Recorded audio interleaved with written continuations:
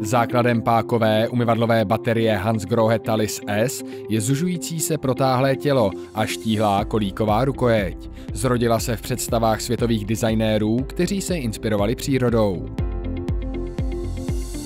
Oceníte na ní vysoce úsporný perlátor, jimž proteče za minutu pouze 3,5 litrů vody. Tím ušetříte energii a vodu téměř 80%. Rozdíl v síle proudu však nepoznáte.